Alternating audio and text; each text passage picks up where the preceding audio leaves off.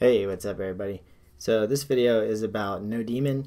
Nodemon is a tool that allows you to automate the restarting of your node server whenever you're developing an application.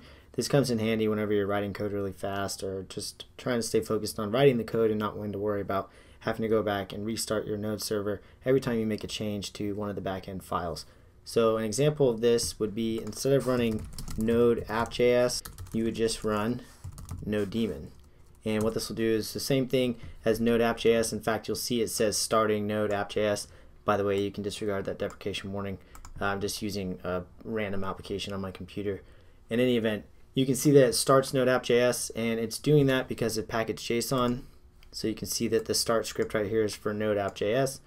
And this is not a package that you will install to your project. What you'll do is you're going to run npm i-g nodemon and hit enter. And so the I is for install, the dash G is for global. It's going to install it all the way across your computer, or in the case of Cloud9, it'll put it on that server and that computer. And that way you can use that nodemon command anywhere from any node project.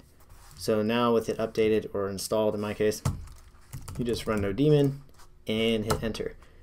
So if you see an error about index.js, it's because in here in your package.json, you have your main set to index.js, but then you have your main file as app.js.